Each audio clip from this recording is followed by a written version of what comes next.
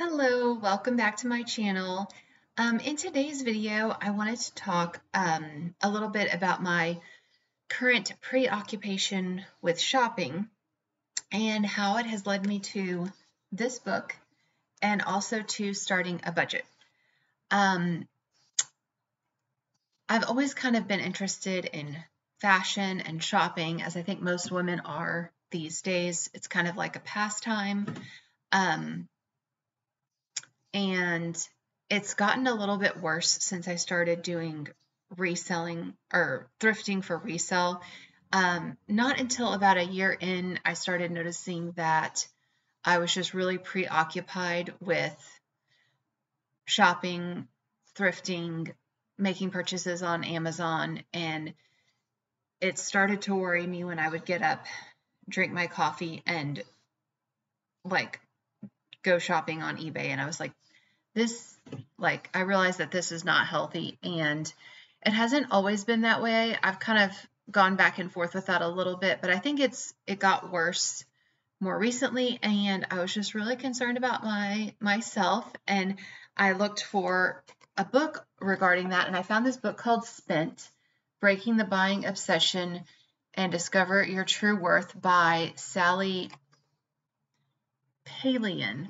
And um, I wanted to read a little part from there that I really felt like was resonated with me.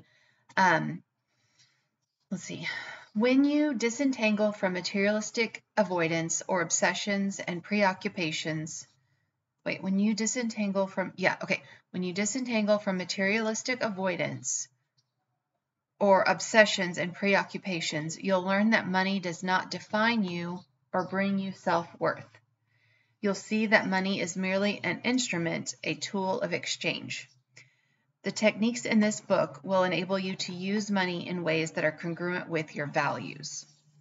And that is really my goal is that I want to make sure that what I'm spending my money on does line up with my values. Um, so I, um, so okay, first of all, I want to go back to my low buy year. I was going to try to do a low buy year, or I'd started doing a low buy year to kind of help with this preoccupation with spending and money, but it, it didn't really help. And um, I wasn't able to to carry it out, at least in certain categories, like the clothing and the the home goods um, and the makeup. I I um it started with kind of came crashing down with the clothing and then the home goods and then the makeup. But I'm I'm doing really well with the makeup. I I haven't bought a lot of makeup. I've only um, done a few things.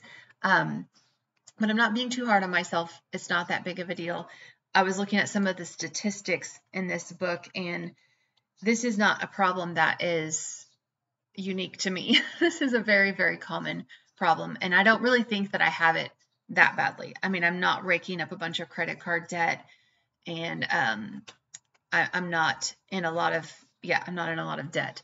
It's just that I want my my spending habits to line up with my values and I want to be able to save a little bit more aggressively. So so with the low buy, um, I'm still trying to not purchase Starbucks. Uh, there's a few other things on my list candles office supplies i've done really well with that and then um, subscriptions i haven't purchased any more new subscriptions except for aura that one i am on a trial because i get so many spam text messages now I, it used to be all the spam calls which have gotten better and now i get like 15 to 20 if not more spam text messages a day, and it is very frustrating. So I signed up with Aura, and that is supposed to help um, get your name and your number and stuff kind of off of the the lists. Um, so, anyways, there's a few things I'm still not buying, and I'm still kind of trying to do a low buy year, but I'm not putting a lot of pressure on myself.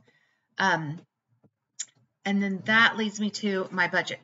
I decided I would do this budget thing, and I saw an advertisement for a budget planner um, when I was watching something on YouTube, and um, it was like I looked it up and it was like fifty nine dollars, and I was like, uh, I can find one probably much cheaper than that. I found this one on eBay. This one was like $6 or something like that.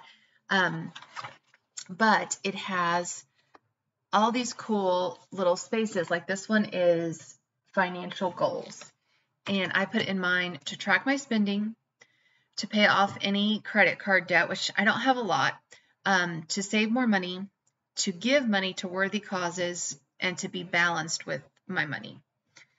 And then the next one I thought, and it has like strategies and tactics, like to help get you in the right mental space. Um, so, like strategies, skills I need to learn to achieve my financial goals. My main thing was learn how to budget. Um, you can put in there money affirmations. I put God blesses me abundantly and I can do all things through Christ. Um, there's actions to earn more money, which I'm currently doing the eBay reselling, which I'm still doing. Um, I just really want to also find out like how much am I actually spending on this? And where does that fit in with my budget? And then I also started doing a inventory tracker on Google Sheets, which is Google's like Excel, and I'm putting in my inventory and how much I spent on the items, how much I have it listed for, and whether or not it's sold. So I'm working on that too. Um, and then actions to cut your expenses. And then, of course, that for me, that would be to budget, see where my money's going. Um, and then the next one on here that I wanted to show y'all, they have this month and year and then your budget. And so you have your income and then you have your expenses. And so I just it's it's a lot. So I just decided if I can work on this for 10 to 15 minutes a day, um that would be good. I already I did like 5 minutes yesterday. I did about 15 minutes today. Um and this is what takes so much time is the expense tracker. So I really, I'm not going to write it in every time I spend something. I'm going to go to my bank account and write it down and just categorize it. That way I can then put it in my budget review. And it also has like a little, hold on, Rocco's coming. Oh no, before he steps on the keyboard. Okay, here he is. Here he is. Here's my big boy. Oh, he's so cute. He's a sweet boy. He's my little prince. My little prince. okay, buddy. Here, let me get you a little thing to play with. What is this? What is that? What is that? Okay. So, yeah, this has a really cool, see if I can get the lighting, pie chart. So then you can like see the, the percentages of everything, I think is how that's going to work. Anyways, so I'm really excited for that.